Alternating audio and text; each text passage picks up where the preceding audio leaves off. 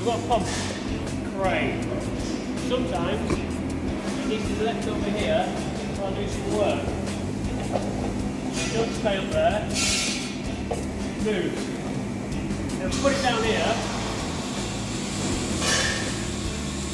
If I or somebody else goes around that side and swaps the beds, it's going to go through and hit the later. So what I've done is, so I've added that magnet to the end of it.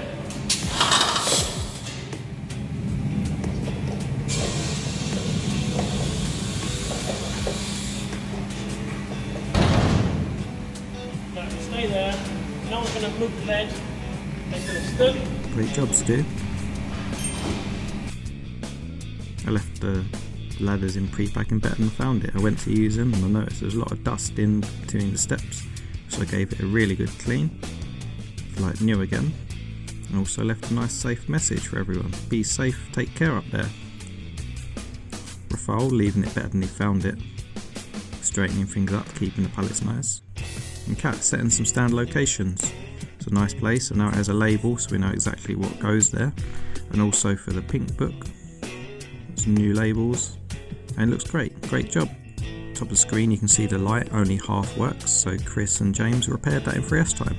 Great job.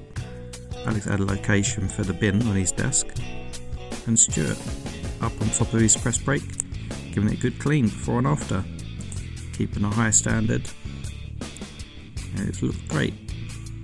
Great job everyone, thank you very much.